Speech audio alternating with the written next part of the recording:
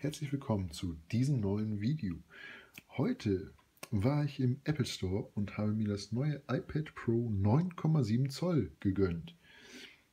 Und ich will es mal mit euch auspacken. So, zuallererst haben wir die Hülle.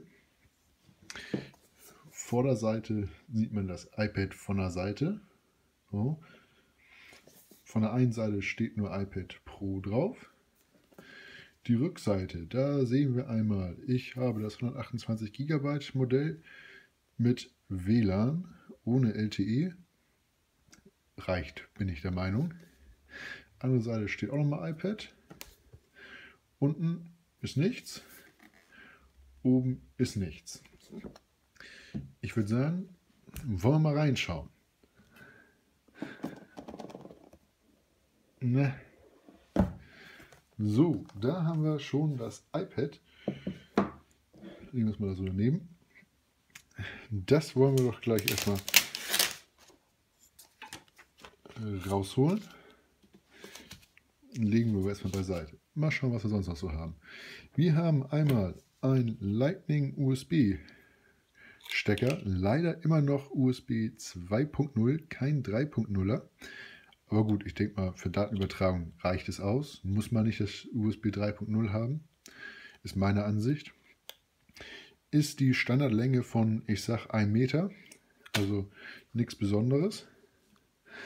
Dann haben wir hier weitergehend ein paar Papierchen. Mal sehen. iPad Pro. Und ja, wie immer ein paar Apple-Sticker. Die sind immer, finde ich, ganz nett. Wollen wir es mal beiseite tun. Weiter haben wir noch das Aufladenetzteil. Es sind jetzt nur noch 10 Watt. Keine Ahnung, ob man es erkennen kann. Glaub nicht. Sind nur noch 10 Watt. Früher waren es ja immer 15 Watt. Ja, gut. Das spart Apple wohl auch. Das Gute ist, ich habe noch ein anderes iPad, von dem ich denn das 15 Watt Netzteil verwenden kann. Von daher ist es nicht das Problem. Legen wir auch mal beiseite. Weiter ist nichts in der Hülle drin. Hier sehen wir noch oben in der Ecke die kleine Aussparung. So sieht man es besser. Für die Kamera.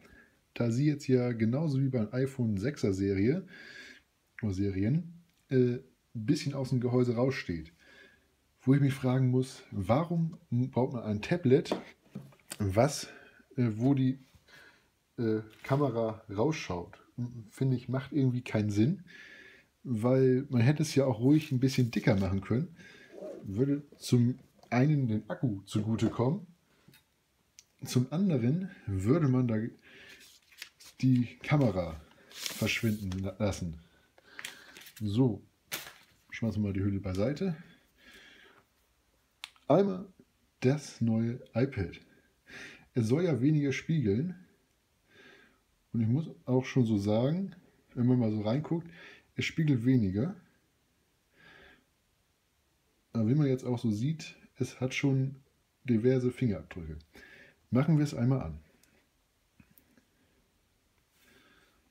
So, ich werde es jetzt mal kurz einrichten und dann bin ich gleich wieder für euch da. Bis gleich.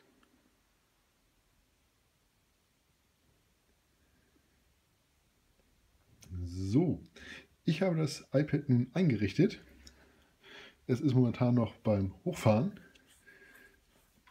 Und ja, wie man sieht, ist es eingerichtet. 1. April, haha, ist kein April-Scherz. Wie ihr seht, haben wir das iPad. Achso, so, machen wir so. Ich habe ein Backup geladen vom anderen iPad, was ich habe, damit ich nicht alles neu installieren muss. Ist also auf dem gleichen Stand wie das andere. Das andere iPad ist ein iPad der vierten Generation, also doch schon etwas in die Jahre gekommen. Aber jetzt, wo ich gerade so sehe, man sieht meine LED-Beleuchtung an der Decke. Die spiegelt doch. Legen wir es erstmal hin.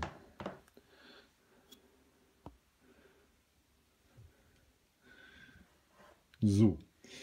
Ich muss sagen, das Display gefällt mir sehr gut.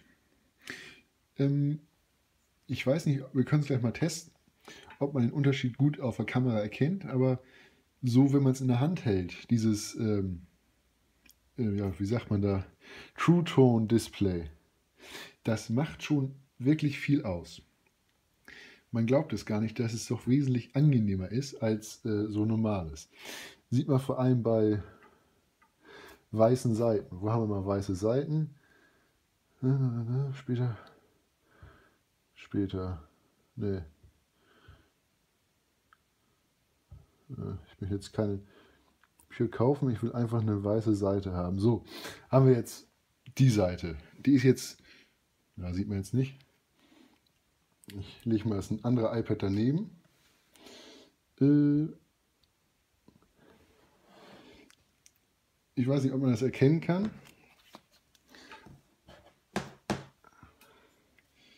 Das eine iPad ist, hm, okay, auf der Kamera erkennt man es nicht, aber das iPad Pro 9,7 Zoll ist deutlich wärmer von der Farbintensität her als das andere. Erkennt man jetzt auf der Kamera nicht so enorm, aber als ich es eingerichtet habe, hat man es schon gesehen. So,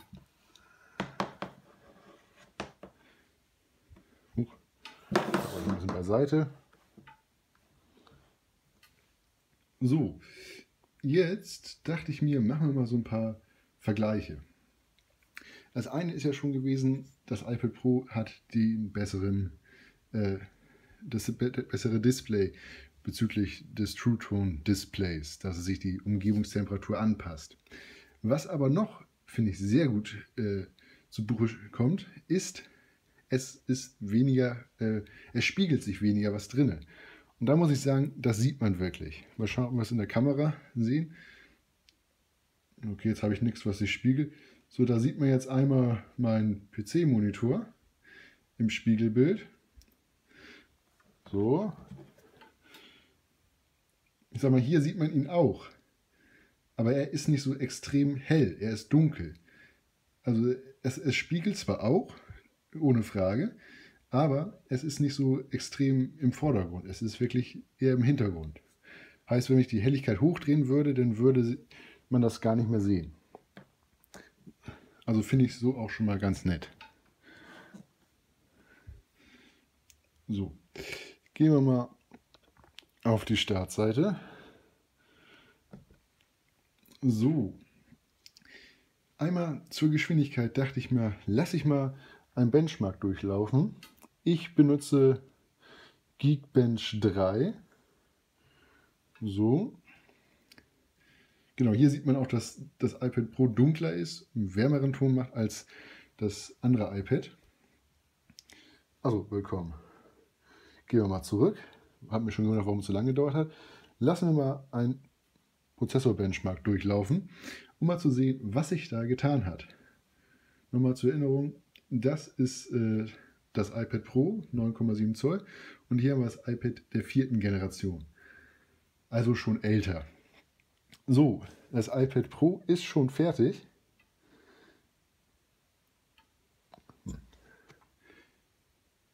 So, da haben wir einmal ein Single-Core-Score von 3609 was finde ich gar nicht mal so schlecht ist, und ein Multicore von 5258.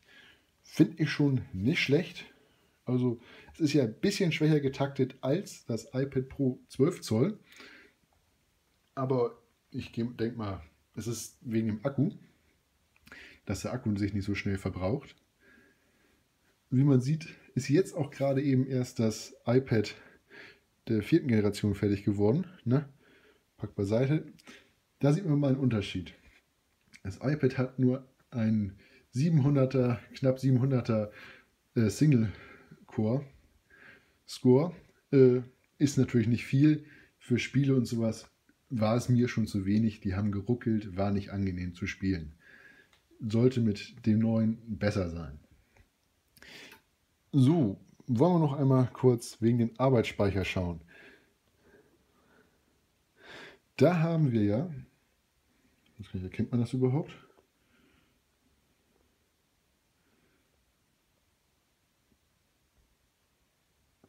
Na, erkennt man jetzt nicht wirklich gut. Nehmen wir das mal hoch.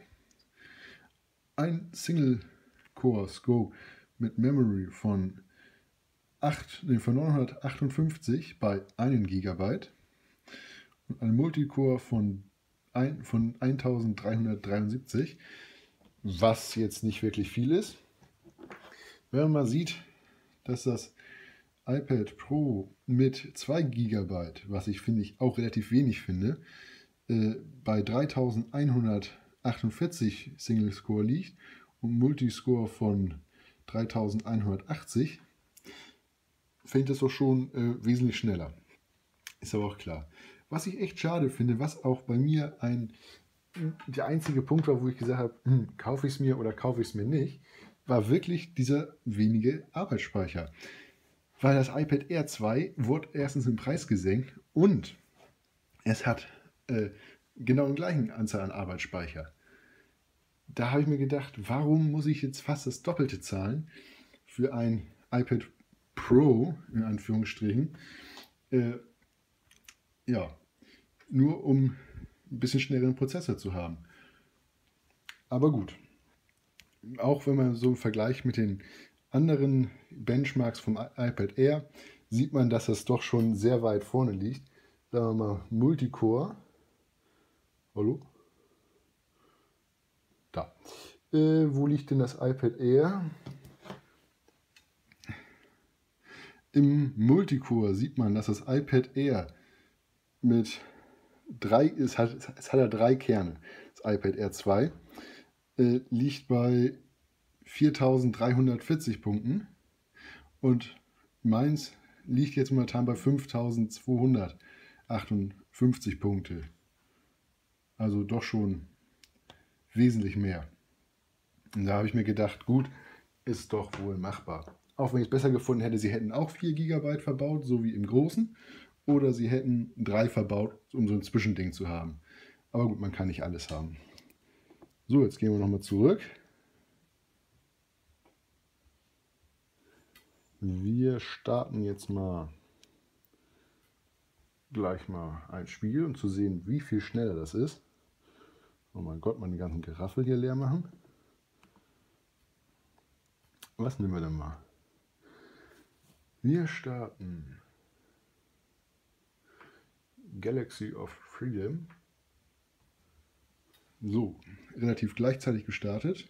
Und da habe ich zumindest drauf gedrückt. Wie man sieht, das iPad Pro ist schon wesentlich weiter vorne. Äh, hat quasi gar keine Ladezeit gehabt, ist jetzt schon im Spiel. Während er dann den Balken erst voll macht. Also man sieht schon eine enorme Performance-Verbesserung. Gehen wir nochmal raus. Und wir können es nochmal anschauen mit, was haben wir noch Schönes? Muss man vielleicht ein bisschen länger lädt. Ich weiß nicht, ob das lange lädt. Wir nehmen einmal das. Ist so ein 3D-Animationsspiel, wo man die Schatten übereinander legen muss. Ist echt ganz nice. Okay, da gibt es keinen wirklichen Ladebildschirm, aber wie man sieht, war auch da das iPad Pro schneller. Ich würde sagen, das war es an sich auch erstmal schon so von meinem ersten Eindruck. Ich werde es jetzt erstmal noch ein bisschen testen und dann werde ich mich in einer Woche bis zwei Wochen nochmal mit einem ausführlicheren Fazit zu meinem neuen iPad Pro 9,7 Zoll zurückmelden. Bis dahin wünsche ich euch viel Spaß. Schaut euch meine Videos an, abonniert mich. Bis dahin, ciao.